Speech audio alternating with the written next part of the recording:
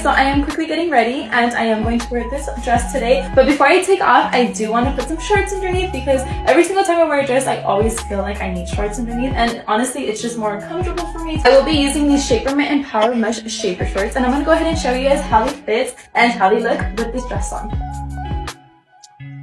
Okay, so these are the shorts and I'm gonna go ahead and try them on and you guys can see how they look. So before I put on the shorts, I do want to show you guys how this dress looks right now. So this is before I put on the shorts.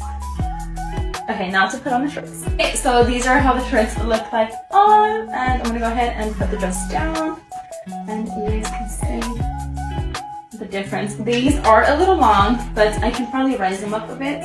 This is how the dress looks like with the shorts on. Okay, now I am all ready. I honestly like these shorts. I feel like they are pretty comfortable and they're really stretchy as well, which I like. But this is the fit for the day. Okay, I am ready for the day. I'm gonna do a little twirl for you. Time to go. Bye.